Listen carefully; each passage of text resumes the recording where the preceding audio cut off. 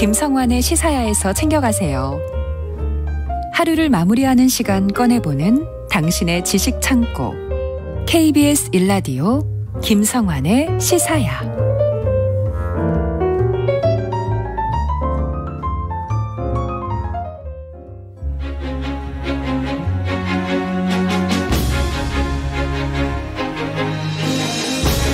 순원, 장제스, 숭메이링, 청거푸, 천치메이.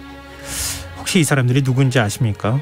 대한민국 독립 유공자 17,500여 명 가운데 최고 등급인 대한민국장을 받은 분들은 33명인데요. 앞서 언급한 5명이 바로 그 33명에 포함된 외국인들이라고 합니다. 모두 중국인인데요. 오늘 흔적의 역사에서는 중국인 다섯 명이 어떻게 대한민국 독립유공자가 되었는지 알아보고요. 우리나라 독립유공자 등급을 재심사해야 한다는 여론은 어떻게 봐야 하는지 이야기 나눠보려고 합니다. 경향신문 이기환 history teller 나와 계십니다. 안녕하세요. 안녕하세요. 네, 네. 지금 다섯 명의 이름을 제가 불러드렸는데 예. 굉장히 낯익다 하는 어, 사람도 있을 것 같고요. 네, 그렇지 어, 굉장히 낯서네 이런 이름도 있을 것 같아요. 뭐 쑨원 뭐 이분은 네. 그 중국 혁명의 아버지고 손문이라고 하는 네, 그렇죠. 그러니까 손문으로 쳐야 됩니다. 국가 보훈처 하면 순원이라고 쳐봐야 나오질 않아요. 아, 손문이라고 우리나라 한자로 그냥 손 예, 네. 한자 이름으로 그냥 하면 되는데 예. 신의 혁명을 일으키고 중화민국을 수립한 분이고 그 이분은 약한 자를 붙들어주고 기울어지는 나라를 구제해줘야 된다라고 하면서 대한민국 임시정부를 그 이제 한국 민족을 통치하는 정통 민주공화 정부로 승인을 했어요. 그리고 예. 이 중국 군사학교에 한국 학생의 입학을 허용했는데요. 1925년에 이분이 갑자기 서거하는 바람에 뭐 네. 여러 가지 하여튼 문제 뭐 사업들이 진척되지는 않았지만 이 순원이 한국의 독립운동을 후원하고 대한민국 임시정부가 초기 조직을 안정화하는 데는 엄청난 도움을 준 분이죠. 뭐 그러면 뭐 대한민국 장 받을만 예, 하겠구나. 예, 뭐 이런 생각 할 텐데. 네. 장제스도 그렇지 않습니까? 그렇습니다. 장제석이라고 하는 예. 분이죠. 그러니까 중국 국민단 주석, 주석이고 유, 명한 것은 1932년에 윤봉길 의사가 훈커 공원 의거를 일으키자 중국의 100만 군대가 못한 일을 한국 청년 한 청년이 해냈다라고 예. 격찬을 했죠. 이후에 이제 장제수 주석이 침체에 빠져 있던 대한 대한민국 한국의 독립 투쟁을 적극 지원했는데요. 중국 군관학교에 100여 명의 한인 청년들을 군사훈련을 시키고 뭐 이렇게 했고 이분들이 나중에 조선 의용대 그리고 한국 광복군의 근간이 되었단 말이에요. 그러니까 국내 동포에 또 재정적 정신적인 지원을 해준 분이기도 하고 그래서 이분 때문에 덕분에 임시정부가 또 부흥의 전기를 마련했다라고 할 수가 있습니다. 네. 한국의 독립투쟁사에서 장제스 공로는 뭐 이렇게 알려져 있지 않습니까? 그렇습니다. 뭐 이 조선 의용대 외에도 1940년에 가을에 창설한 한국 광복군도 음, 승인했고 네. 카이로 회담에서 한국의 독립을 제안하고 그 선언문에 또 명문화시킨 공적 또한 또 엄청나죠. 그리고 역시 이제 1등급인 대한민국장을 받은 쑹메이링이라는 분이 있죠. 여성인데요. 예. 장제스 주석의 부인죠. 송미령이라고 하는 분이죠. 그러니까 윤봉길 의사 의거 때 독립운동 지원금을 해서 10만 원 그리고 1940년에 한국 광복군이 결성이 되니까 무기를 구입할 수 있도록 지원금 10만 원 그리고 음. 1942년에도 또 이 한국 광복군의 출정 군인 가족 구제비 명목으로 해서 또 10만 원 뭐 이런 식으로 해서 기부를 많이 한 분입니다. 그럼 뭐 숙메링들 1등급밖에 부족함이 없다는 네. 건데 다른 두 분은 누굽니까? 역시 그 1등급 수혜자인데요. 천치메이 진김이라고 하는 분이고 그다음에 천거프라고 해서 진과부 두 분입니다. 조금 낯설어요. 그렇습니다. 이 천치메이는 1910년대에 신규식 선생이 중국에서 결성한 신화 동제사라는 그런 조직이 있는데 거기에 참여해서 활동한 분이고 한국 측 인사하고 교류하면서 한국의 독립 투쟁을 위해 물심양명으로 협조했다. 라고 하고요. 이 천치메이 같은 분들이 협조 덕분에 1919년 4월에 대한민국 임시정부의 정식 수립 그리고 선포가 가능했다라는 평가를 받고 있고 음. 이 천치메이의 조카가 천거푸인데 이분은 1932년에 윤봉길 의사 의거 후에 장제스하고 김구 선생의 그 만남을 또 주선하기도 하고요. 음. 한국 독립군 간부 양성을 위한 난징 군관학교에 한국인을 입학시키는 데도 또 힘쓰기도 하고 대한민국 임시정부의 광복군 창설을 도와주기도 하고 뭐 그랬다고 합니다. 그 나라를 빼앗겨서 중국 대륙에서 사실 임시정부를 두고 활동할 수밖에 없었잖아요. 네. 근데 당시에는 독립투사들한테 중국 인사들의 도움이 굉장히 절실했겠어요. 절대적이었죠. 네. 그래서 뭐 이 순원이나 장제스나 숭베린 같은 분뿐만 아니라 대중적으로는 알려지지 않았지만 지금 말씀드린 천치명이나 청거푸 같은 분들의 도움도 컸다라고 하고 1등급은 아니지만 역시 2등급을 받은 그런 대한민국 대통령장을 받은 분이 한 92명이 계신데요. 예. 그중에 10명, 11%가 중국인입니다. 그 대한민국장 33명하고 대통령장 92명이 있는데 그 앞에서 1, 2등급 서훈 대상자가 125명 정도 되거든요. 예. 그중에 15명, 12%가 중국인이라는 얘기입니다. 물론 뭐 역사적인 특성이나 이런 네. 것들은 우리가 감안한다 하더라도 상당히 많은데요. 숫자가. 그렇습니다. 예, 그래서 이 제가 간과했던 문제가 있어요. 얼마 전에 네. 제의가 됐습니다. 그 이 시간에 한번 소개해드린 분인데요. 호모 헐버트 박사라는 분 있죠. 예. 예, 뭐 얼마 전에 이 헐버트 박사의 73주기 추모식이 열렸는데 이 자리에서 헐버트 박사의 서원 등급 3등급 독립장인데요. 하루빨리 1등급인 대한민국 장으로 높여야 된다라는 이야기가 나오더라고요. 헐버트 박사람 대한민국 독립운동에 평생을 바친 분이고 그렇습니다. 대단한 분으로 알고 있는데요. 그렇습니다. 이 자리에서도 말씀드렸는데 1886년에 왕립 영어학교인 유경공원 교수로 입국을 했습니다. 그리고 한국을 위해서 평생을 바친 분이고 특히 이제 최초의 한글 세계 지리서인 3인 필지를 펴냈고요. 한글의 우수성을 미국 언론을 통해서 이제 널리 알리고 그런 분이기도 하고 그다음에 세 번이나 고종의 특사로 활약을 했지 않습니까? 음. 이 1905년에 을산 늑약이 무효다라는 고종의 친서를 미국 측에 전달하는 특명을 받았고 뭐 잘 아는 1907년에 헤이그 만국 평화회의 때 일제 침략주의를 고발해서 도움을 청하다 청하라라는 또 밀명도 받았고 예. 그 1909년에 상하이 은- 뭐 은행에 예치한 고종의 내탕금을 찾아오라라는 또 특명도 받았는데요. 일제에 의해서 추방이 됐거든요. 그 이후에도 미국에 가서 한국의 독립운동을 위해서 동분서주를 하신 분이죠. 이 고종의 내탕금 찾아오라 뭐 이런 특명 이거는 드라마의 한 소재로도 나와가지고 예. 스토리로 예, 굉장히 예, 익숙하실 예. 텐데요. 바로 그런 당사자가 예. 3등급을 수여받았다고 하는 건 그러니까는요. 너무 조금 거 이해가 안 아닙니까? 가는 부분이고 예. 예, 좀 너무 일찍 받았다라는 생각이 들어요. 1950년인가 이렇게 받아가지고 음. 그런 부분이 있고요. 이분 말고도 영국 출신의 언론인인 어니스트 베, 베델이라는 분 있지 않습니까? 예, 예, 베델. 한국 이름으로는 배설이죠. 예, 그래서 굉장히 유명하시잖아요. 예, 1904년에 뭐 대한 매일신보를 창간하고 그다음에 이후에 한국 통감부의 마- 탄압에 맞서서 국권 수호를 위해서 또 필봉을 휘두르고 또 이분은 그 지난번에도 말씀드릴 것 같은데 헐버트와 함께 그 일본 국내부 장관 다나카 미스야키가 경천사 10중 탑을 강탈해 간 사건이 있거든요. 참 기가 막힌 사건인데 네. 그 사건을 집요하게 파고 들어 가지고 뭐 국내외 이렇게 여론을 이끌어서 결국 반환을 이끌어내는 분입니다. 그래서 이제 베델이 치안 방해 선동죄를 뒤집어쓰고 옥고를 치르는데 그러면서 또 몸이 엄청나게 쇠약해집니다. 음. 결국 1909년에 37살의 참 젊은 나이로 타계하고 말거든요. 그러면서 이 베델이라는 분의 유언이 뭐였냐면 나는 비록 죽지만 대한매일신보는 영영토록 살아남아서 동포들을 구하라라는 것이었거든요. 예. 이분이 독립유공자 서원에서는 2등급인 대통령장을 받았습니다. 헐버트 박사보다는 등급이 앞서긴 하는데 더 높기는 하는데 예, 그렇습니다. 당시 이름을 배설이라고 가질 정도였으면은 얼마나 그러니까요. 많은 분들이 사실 이거 본인이 그렇게 하는 것도 있지만 주변에서 한국 사람들이 네. 그럼요. 불러주는 네, 이름이잖아요. 그렇습니다. 그래서 뭐 이 당시에 그 그런 분들은 뭐 이렇게 한국 이름으로 많이 그 네, 그렇게 바꿔서. 불러줬잖아요. 네, 저는 그래서 결단코 이 베델의 그 서원 등급을 문제 삼는다 이건 아니고요. 예. 그 평생을 한글 연구와 보급 그리고 한국의 독립운동을 위해서 바친 헐버트 박사가 겨우 이제 3등급이라는 거. 뭐 이게 잘못됐다라는 점을 말씀드리고요. 또 이 3등급인 헐버트 그다음에 2등급인 베델의 서원 등급이 같은 외국인으로서 1등급 대우를 받은 청거프라든가 천치메이 뭐 이분들도 물론 뭐 많이 이제 독립운동을 지원하신 분들이긴 하지만 그분들에게 견져서 이 낮아도 되는 건지 그런 의문이 좀 듭니다.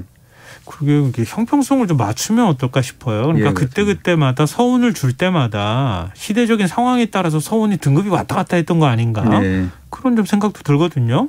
예, 그렇습니다. 이 외국인도 그렇지만 그러니까 우리나라 독립투사들의 서운 등급이 문제점 이것이 뭐 계속 이제 지적이 되어 왔는데요. 그래서 제가 국가보훈처 홈페이지에서 독립유공자 공훈록을 검색을 해봤습니다. 검색을 예. 해봤더니 그냥 1, 2등급으로 러프하게 굉장히 네. 빠르게 한번 검색을 했는데요.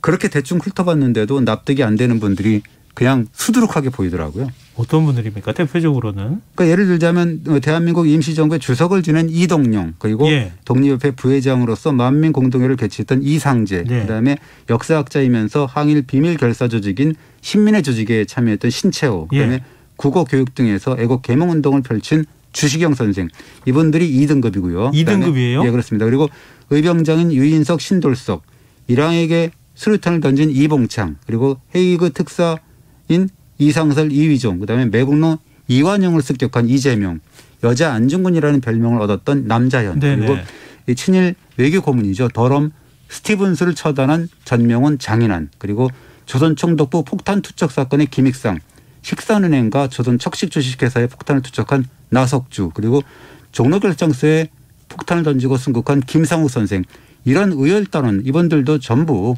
2등급이더라고요. 우리 역사 시간에 다 배운 분들이고. 예, 예. 설명 배우지 않았다 하더라도 뭐 남자연 열사에도 네, 마찬가지고요. 그렇습니다. 영화를 통해서 익숙한 분들도 이름도 네. 보이는데 이름만 들어도 대단한 독립투사들인데 그렇습니다. 서훈이 2등급이 맞나 이런 생각이 계속 네. 근데 이분들은. 그래도 그나마 2등급을 받으셨잖아요. 예. 근데 육형제가 전 재산을 팔아서 한 600억 원 된다는 거거든요. 지금 이 기준으로 따지면 예. 만주로 망명을 해서 독립운동을 펼친 그 육형제 가문 있죠. 이회영, 그다음에 대한광복회 총사령관을 역임했던 박상진, 그리고 러시아와 한경대에서 무장 투쟁을 이끈 최재형 이런 분들은 겨우 독립장의 3등급입니다. 그리고 이분들뿐만 아니라 제가 언급하지 못한 분들 가운데서도 이 훈격의 형평성에 문제를 제기하는 분들이 굉장히 많을 것 같아요. 그 제가 그냥 러프하게만 그렇죠. 본. 그렇죠. 꼼꼼히 따져보면 더 많을 수도 있다는 그렇습니다. 거잖아요. 근데 왜 이런 일이 벌어졌습니까? 예, 정부가 독립유공자 명단 208명을 발표할 때가요. 1962년 2월 23일이었습니다. 예. 이때 이제 김구, 안창호, 안중근 이런 분들 이런 뭐 유명한 분들 18명이 1등급을 받았고요. 예. 그다음에 아까 지금 언급했던 신채호, 신돌석, 이- 이위정, 이상설 뭐 58명이 2등급 받았고 유관순, 김도연, 김마리아, 장지현, 이혜영 이런 분들이 132명인데요. 3등급을 받았죠. 아니 심사 기준이 있었을 거 아닙니까? 당시 심사 기준은 예, 조선 독립운동 혈사 등에서 12건의 문헌 자료가 있었고 그리고 이제 여섯 가지의 예외 조항이 있었어요. 그 뭐냐면 국시를 위배한 분, 그다음에 정치적 과오가 있는 분, 납북된 분, 음. 변절한 사람, 음. 해방 후에 월남하지 않은 자, 확인할 만한 기록이 없는 경우 뭐 이래서 여섯 가지 예외 규정을 뒀는데요. 네. 당시 신문 보도를 보면 이 독립운동의 공로가 뚜렷한 분이라도 여섯 가지 6대 예외 규정에 포함되는 사람들은 제외했다라고 분명히 나와 있더라고요. 근데 심사는 철저히 제대로 한 겁니까? 그러니까 뭐 면- 심사위원회 명면을 보면은 뭐, 뭐 나름대로 뭐 유명한 분들이 있더라고요. 근데 잘한다고는 했겠지만 1962년이라면 해방된 지 뭐 20년도 채 안 지난 때였고 네. 당시가 어땠습니까? 해방, 한국 전쟁, 4.19 혁명, 5.16 군사 정변 뭐 이런 식으로 해서 어수선한 전국이었잖아요. 그래서 정확한 자료에 의한 심사가 뭐 안전했겠느냐 뭐 이런 또 회의감이 들죠. 아무래도 반공이 국시였던 시대이기도 했었고 네. 그러니까 이런 여러 가지 뭐 이념적인 측면들도 고려가 되지 않았을까 싶기도 한데요. 어, 대표적으로 유관술 열사가 3등급 받은 거 이것도 좀 문제가 있다는 지- 지적들이 좀 있었어요. 네. 그렇습니다. 이전에도. 그래서 이 유관순 열사는 사실은 3.1운동의 상징이잖아요. 예. 왜 이분이 1등급 대우를 처음부터 받지 못했을까라는 것도 의아한 대목인데 아무래도 그 당시에는 또 가부장적인 그런 측면이 있어 여성이어서 그런 거 얘기도 여성이어서 그럴 있었잖아요. 있고 또 폭탄 투척을 했다든가 뭐 그런 분들에 대한 대우가 좀 남성 위주로 했기 때문에 그렇고 그 여성들의 경우는 사실은 가정에 있어서 이 독립운동을 키웠잖아요. 독립운동의 어떤 그런 아들도 키웠고 남편을 키웠잖아요. 네. 뭐 이렇게 내절을 한 거기 때문에 그분들의 공정은 상대적으로 좀 이렇게 폄하된 부분도 많았죠. 그러나 이 유관순 열사 같은 경우는 참 그것도 이해가 안 가는데요. 이유가 명확하지는 않습니다. 그리고 당시에는 또 친일파 청산도 제대로 안 돼 있는 상태고, 그러니까 혹간의 그 친일 행각이 의심스러운 사람들도 유공자로 섞여 들어갈 가능성도 배제할 수가 없고, 또 남북 분단, 전쟁, 냉전의 전국 속에서도 또 이게 상당수 독립운동가가 공산주의자라든가 사회주의자라든가 부역자다 뭐 이런 낙인이 찌- 또 찍히고 이랬죠. 근데 이제 좀 사회가 많이 벼- 바뀌지 않았습니까? 정치 환경도 변하고 네. 좀 심사를 좀 다시 해야 되는 거 아닌가도 싶은데요. 그 당시에 그 500명 중에서 208명이 첫 번째로 선정이 됐는데요. 그때 기사를 보면 그때 당시에 누락된 인사들, 인사들의 경우도 차후에 공적이 확인된다면 계속 포상한다. 뭐 이렇게 기사는 나와 있더라고요. 아, 그럼 이번 한 번으로 끝나는 건 아니다. 예. 이런 전제를 달긴 달았다 이런 네, 얘기네요. 그렇죠. 예. 그러면 심사를 다시 해도 될 만한 근거가 일단은 있다 이런 말이 되는 건데 예. 근데 독립 유공자 수가 17,500명이라고 했잖아요. 그렇습니다. 새롭게 이제 계속 이제 발굴을 하고 그런 뭐 결과인데요. 그런데 이제 등, 잘못된 등급은 문제가 되는데 이 등급이 잘못되었다면 고쳐야 되지 않습니까? 예. 근데 이게 또 사실 쉽진 않아요. 왜 그러냐면 관련 법규를 보면 이 동일한 공적에 대해서는 훈장이나 포장을 거듭 수여하지 않는다라는 상원법 4조가 있는데요. 이게 걸림돌이거든요. 그래서 이 만 칠천 명이 넘는 독립 유공자 가운데서 유관순 열사 그리고 여운영 선생 그리고 홍범도 장군 요 세 분만이 기존의 대한 대통령장 뭐 2급 2등급인데 그 외에 예. 대한민국 국장 1등급을 추가하는 것으로 했습니다. 아니 중복 수상 안 된다면서요. 예, 그래서 이제 추가로 포상을 했다라는 거죠. 그러니까 중복은 아니고 다른 공적으로 해서 거의 추가를 했다는 건데요.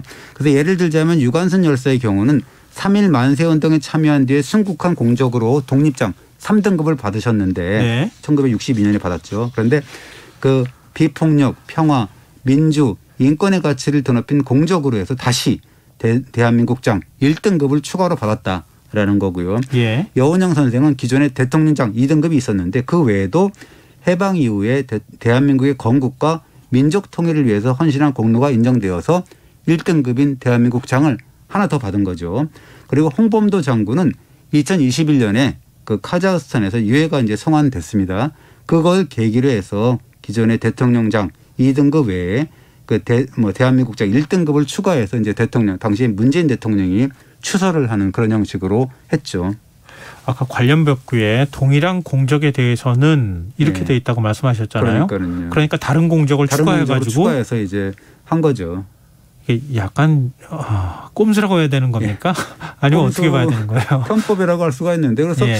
이게 물론 이제 거의 거듭 수여하지 않는다라는 정신은 있는 거예요. 그냥 네. 자꾸 이게 뭐 상이라는 게 그 막 자꾸 이렇게 거듭 주고 이러면 안 되기 때문에 뭔가 이렇게 그 틀을 만들어 놓은 것 같긴 한데 그럼에도 불구하고 이제는 좀 이렇게 바뀌어서 이거 다시 좀 조정해야 되지 않나라는 생각이 듭니다. 근데 이런- 제가 좀 예. 궁- 궁금한 게요. 2등급 서원을 줬어요. 네. 근데 2등급 서원을 반납받고 1등급을 줄 수 있는 건 아닌가요? 그렇게는 안 되나요? 아니 그게 아니라 이제 여태까지는 그렇게 해갖고 2등급 주든 3등급을 주든 그런 네. 뭐 이렇게 거부를 할 만한 또 그런 건 아니지 않습니까? 예. 그래서 사실 그 독립운동 유공자들이 무슨 그 상을 바라고 한 건 아니잖아요. 그러니까 그렇게 이제 받았겠죠 전부 이렇게 주고 예. 뭐 2등급, 3등급 이렇게 받았겠지만 사회가 이렇게 바뀌면서 시대가 바뀌면서 이제 여러 가지 상황이 바뀌어서 이제 일어나는 문제가 되는 거고요.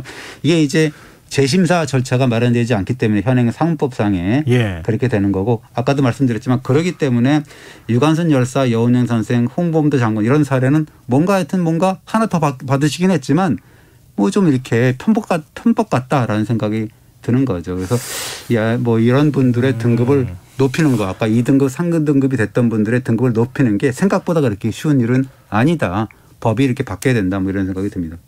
그러니까 예를 들어서 서훈이 그러니까 1등급을 받으신 분이 나중에 알고 보니까 후대에 네. 친일 행적이 나왔어요. 네. 서훈을 박탈하는 경우는 있을 수 있지만 예. 그것도 사실 거의 사례가 없지, 거의 사례가 걸로 없겠지만 알고 있습니다. 예. 그렇습니다. 그러니까 이렇게 등급을 한번 받으신 분들이 더 높은 등급을 받거나 서훈을 다시 받거나 이건 네. 참 쉬운 일은 아니라는 거잖아요. 그렇습니다. 그러니까 지금 네. 아까 거론한 분들 같은 경우는 전부 다 1등급의 그런 어떤 대우를 받을 만하지만 네. 지금 이렇게 잘 안 되고 있는 거죠. 앞으로는 좀 돼야 된다고 생각이 됩니다.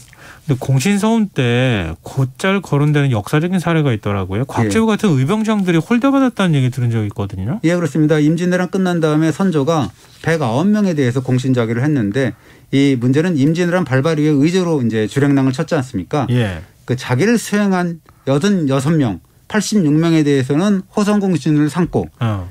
뭐 이, 이순신, 권율, 원균 같은 그런 실제로 전쟁을 수행한 분들 그분들 18명한테만 이제 선무공신이라서 무공을 떨쳤다라고 예. 해서 이제 자기를 주고 나머지 다섯 명은 뭐 이 전쟁 중에 일어난 반란 사건을 뭐 이렇게 진압했다라고 하는 그런 공신 자기를 준 거죠.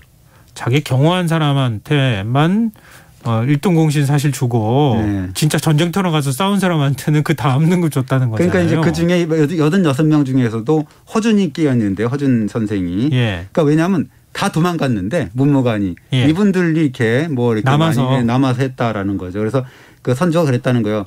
니네들이 사대보다 낫다라고 해서 받은 사람들 보면 내시, 의관, 마부 이런 분들입니다. 그러니까 내시가 스물 네 명이가 그렇게 돼요. 그러니까 네. 뭐 이래서 이제 뭐 문무관들은 아 내가 저런 청것들하고 같이 받아야 되느냐 뭐 이런 식으로 또 항의도 들어오고 막 그랬다라고 하죠. 아, 물론 왕, 왕조 시대니까 네. 뭐 그렇게 했을 수도 있겠다 싶기는 한데요. 네. 그래도 도망간 사람들, 도망간 대신보다는 낫네요. 예, 이제 문제는 이게 그 실제로 전쟁을 치른 무관들 홀대한 것도 잘못됐지만 정말 그 의병장들이 문제예요. 예. 그 곽재우, 정인원, 김면, 김천일, 고경명, 조원 같은 의병장들 이런 분들은 공신 명단에서 아예 빠졌습니다. 이분들은 1년 뒤에 그 공신 대우라 그래서 원정 공신이라고 해서 9,060명을 줬거든요. 그 선정을 했는데 그분들 속에서 선심 쓰듯이 이렇게 포함을 시켰거든요. 그럼 뭐예요? 곽재우 같은 의병장 공로는 9,060분의 1로 쳐준 겁니까? 그렇습니다. 예. 그게 왜냐하면 이 이렇게 얘기를 한 거 선조가 못난 임금 이 못난 임금이죠. 내가 의주로 도망간 것이 아니고 내가 의주로 가서 중국에 지원을 요청했고 그 요청 덕분에 중국이 조선을 구하러 왔다. 조선은 중국군이 구했다. 조선군이나 의병들은 사소한 공만 세웠다. 이렇게 얘기를 하거든요. 그러니까 그러니까 뭐 그렇게 한 거고 내가 공이 제일 크다라고 한 거죠. 그러나 민심 위반으로 해서 뭔가 의병장들이 반란을 일으킬까 봐 걱정했던 거죠. 아, 좀 되게 공색한데요. 예, 그렇습니다. 좀 이제 다시 대접을 좀 해드려야 되는 거 아닌가 싶네요. 근데 이분들이 뭐 이 등급 잘 받으려고 한 건 아니잖아요. 네네, 그럼에도 불구하고 그렇죠. 이분들의 공을 제대로 파악해서 음. 다시 하는 것은 우리들의 몫이죠. 그러네요. 네, 그렇습니다. 역사는 끊임없이 재평가하는 예, 거니까요. 그렇습니다. 알겠습니다. 굉장히 생각할 시간, 생각할 거리를 많이 던져준 시간인 것 같습니다. 네. 다시 한번 좀 재평가하고 들여다보면 어떨까 그런 생각이 듭니다. 오늘 흔적의 역사 지금까지 경향신문 이규환 히스토리텔러였습니다. 고맙습니다. 감사합니다. 김성환의 시사야 오늘 순서 여기서 마칩니다. 모바일 쿠폰 당첨자는 홈페이지 공지사항에서 확인하실 수 있습니다. 편안한 밤 되십시오.